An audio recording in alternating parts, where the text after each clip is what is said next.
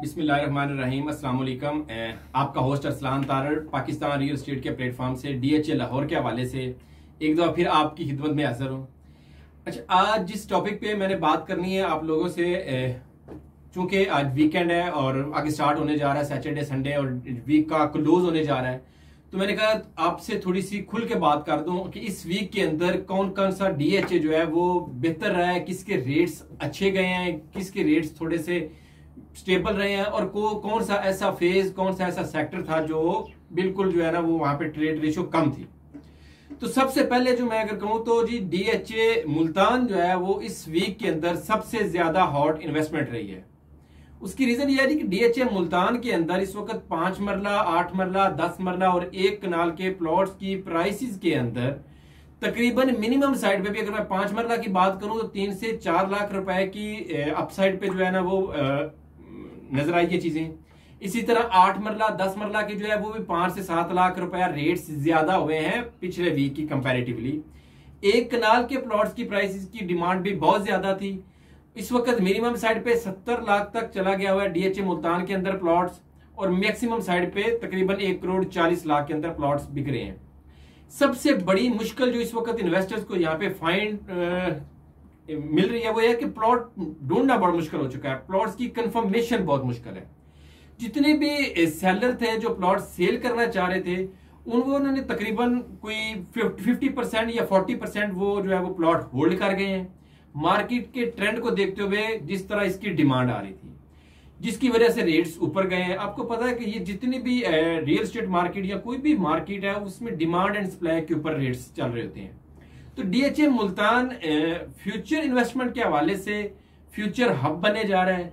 DHA खुद जो है वो इसमें बहुत ज़्यादा तवज्जो दे रहा है इसकी डेवलपमेंट के ऊपर, इसकी कंस्ट्रक्शन के ऊपर, इसमें आगे पोजेशन को लेके, इसके टाइम फ्रेम को लेके, इन सब चीज़ों को लेके डीएचए ठीक ठाक कंसर्न है।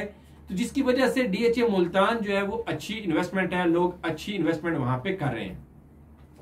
उसके बाद अगर बात करें तो डीएचए फ़ेज़ नाइन प्रिज्म के अंदर जो है, वो लोग इन्वेस्टमेंट कर रहे हैं। पाँच मरला के प्लॉट्स जो है, उनकी प्राइसेस के अंदर अच्छी खासी जो है, वो बेहतरी नज़र आई है रेट्स के अंदर। पहले जे ब्लॉक के अंदर हमें 40-45 लाख के ब्रैकेट के अंदर प्लॉट मिल जाते थे।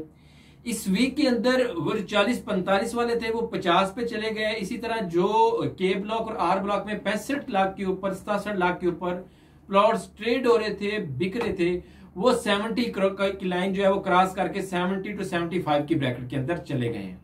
तो रेट्स यहाँ पे इंक्रीज हुए हैं। इसी तरह एक कनाल के प्लॉट्स की में भी अच्छी खासी बाइंग हो रही है। जेन्यन परचेजर इन्वेस्टर जो है वो प्लॉट्स बाय कर रहे हैं, जिसकी वजह से वहाँ पे भी ठीक ठाक परचेजिंग हो रही है।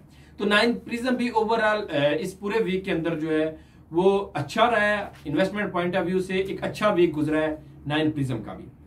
फ़ेज़ सेवन के अंदर कंपैरेटिवली बाकी फ़ेज़ नाइन प्रिज्म के ट्रेड्स रेशो कम थी। पिछले वीक ज़्यादा ज़्यादा हुई है फ़ेज़ सेवन की ट्रेड्स मार्केट के अंदर भी और इसी तरह आगे जो इनकी ट्रांसफ़र थी, वो भी रेशो कम थी। उसकी वजह यह है कि फ़ेज़ सेवन के अंदर इस वक्त एंड यूज़र ज़्यादा जा रहे हैं। तो इस मार्केट के अंदर वालिटेलिटी देखते हुए मार्केट की फ्लक्चुएशन को देखते हुए एंड यूज़र थोड़ा सा जो है ना वो उसने अपने आप को स्टॉप किया है। तो माइट बी नेक्स्ट जो अपकमिंग वीक आ रहा है, उसके अंदर मजीद तेज़ी है जिस तरह आपको पता है कि आज 11 जून है बजट जो है वो गवर्नमेंट पेश कर रही है। तो अगर इसके अंदर रियल स्टेट सेक्टर को कंस्ट्रक्शन इंडस्ट्री को उन्होंने ये रिलीफ आगे कंटिन्यू रखा तो अगला जो वीक है, ये बड़ा इंपॉर्टेंट रहेगा इन्वेस्टमेंट पॉइंट ऑफ़ व्यू से। तो उसमें मार्केट डायरेक्शन का पता चल जाएगा कि मार्केट का आगे इसी तरह, इसी तेज़ी के साथ चलेगी या स्टेबल हो जाएगी। तो next week investment point of view से जो है वो बड़ा इंपॉर्टेंट है। अब एंड पे थोड़ी सी बात कर लेते हैं फ़ेज़ टेन की फ़ाइल के हवाले से। इसी वीक के स्टार्ट के ऊपर मंडे ट्यूसडे को फ़ाइल रेट जो है वो अपने पीक के ऊपर गया है 97 98 के ऊपर। तो फिर इसके बाद टेन की मार्केट जो है वो स्टेबल हो गई है। उधर अभी जो रेट आज का है वो 95 का है।